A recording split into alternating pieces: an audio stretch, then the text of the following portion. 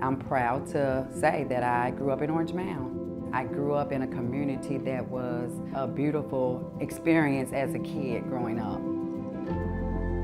But this place had changed. We got a lot of women on the streets, got a lot of women on drugs.